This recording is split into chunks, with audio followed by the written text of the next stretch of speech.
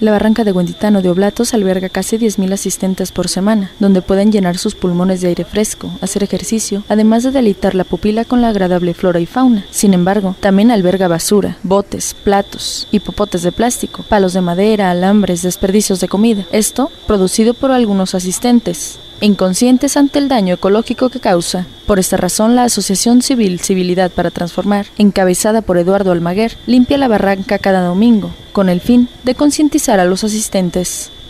Eh, lo que estamos haciendo también, además de la limpieza, es eh, que los comerciantes mismos le digan a la gente que nos apoyen a recoger la basura y que no la tiren, también regalando algunas bolsitas para que nos ayuden a recogerla. Y bueno, también estamos instalando ahorita unos letreros, una señalética para incentivar a la gente a que cuide la barranca, que, que sepa que es su responsabilidad, que sepa que es suya, así como es suya, eh, no la ensucie y la limpie. Así como cualquiera limpia su casa, bueno, pues también es la casa de todos y la tenemos que limpiar.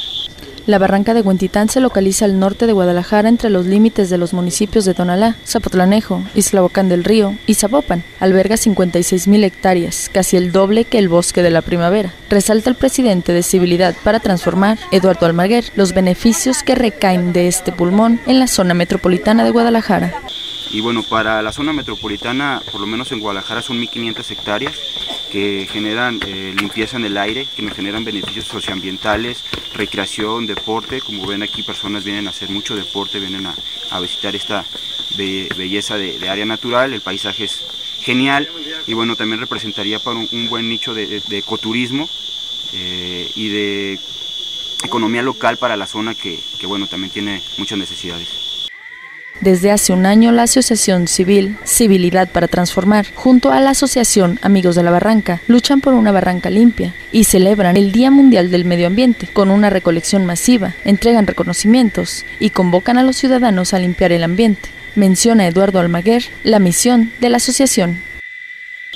Bueno, nosotros eh, principalmente eh, hacemos los domingos labores de limpieza para concientizar a la gente porque la barranca tiene un grave problema de basura, como lo pueden observar los visitantes.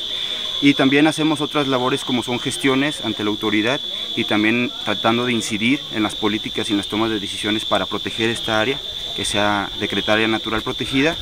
Y bueno, eh, otro tipo de gestiones como un parque que tenemos aquí a un lado que está cerrado, sin ningún fundamento legal y estamos luchando en esos temas para recuperar este espacio público que es de todos. Afirma el presidente de Civilidad para Transformar que durante los primeros días de las limpias en la barranca, las personas comenzaron a dejar menos basura. Sin embargo, en la actualidad hay más desperdicios.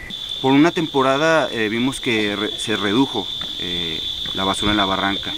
Después volvimos a venir y otra vez ya había grandes cantidades de basura, así que estamos insistiendo con otro tipo de estrategias para que la gente deje de tirar basura. Y bueno, este, la gente ha respondido bien, eh, vemos niños que a veces nos, piden bolsas de basura y nos apoyan en la recolecta de basura, que eso es perfecto. Hay algunas personas que ahí reaccionan mal, pero bueno, hay de todo.